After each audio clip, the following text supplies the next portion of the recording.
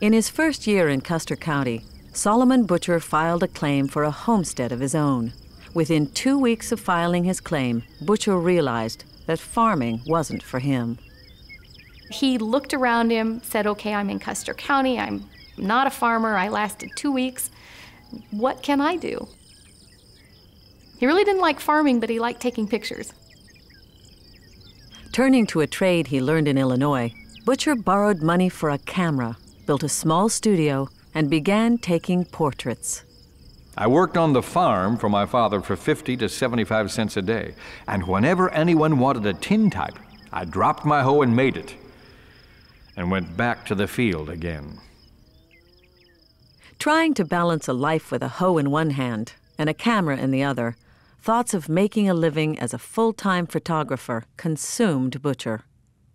Daydreaming is perhaps the better word. He got to daydreaming about what was going on around him and where it was going. And in that, I think, had what was the truly brilliant vision that caused his work to come into being. In the spring of 1886, I conceived the scheme of getting up a history of Custer County. From the time I thought of the plan, for seven days and nights, it drove sleep from my eyes. I laid out plans and covered sheet after sheet of paper, only to tear them up and consign them to the wastebasket. At last, Eureka! Eureka! I had found it. Butcher's big idea became known as the pioneer history of Custer County.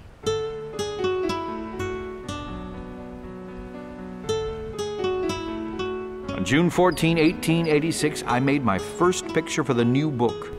It was seven years in making 1,500 farm views and writing 1,500 biographies.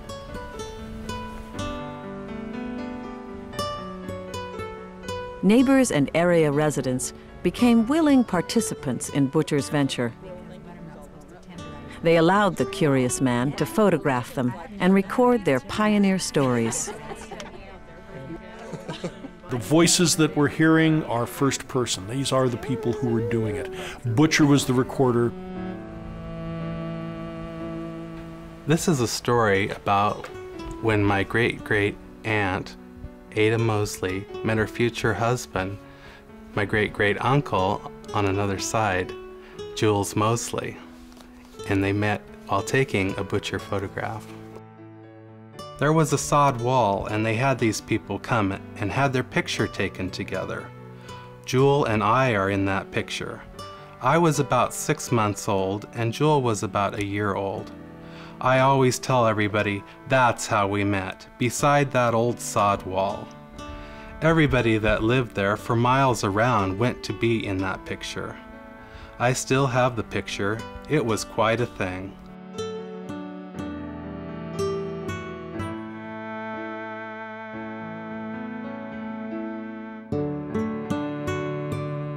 When you see the people in, in a butcher sod house, we carry our own perceptions to that. Most of them are demonstrating pride.